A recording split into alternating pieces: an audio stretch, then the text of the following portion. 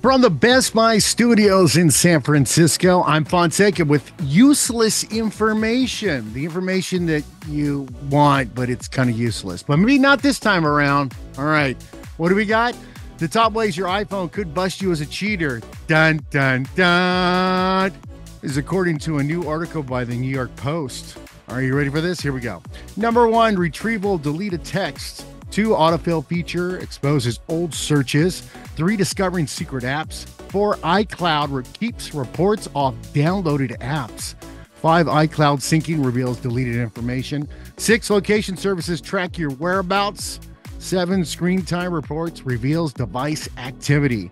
And eight, emojis used in messages can be telling. Nine, weekly screen time report can give insight. And number 10, frequently used emojis can reveal secrets. No hard heart hearts, okay?